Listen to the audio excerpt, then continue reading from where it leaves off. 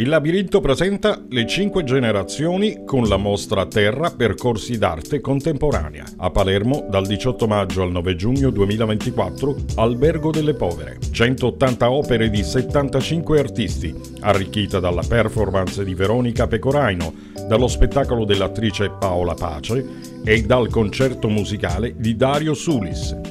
La rassegna si inaugura il 18 maggio all'Albergo delle Povere.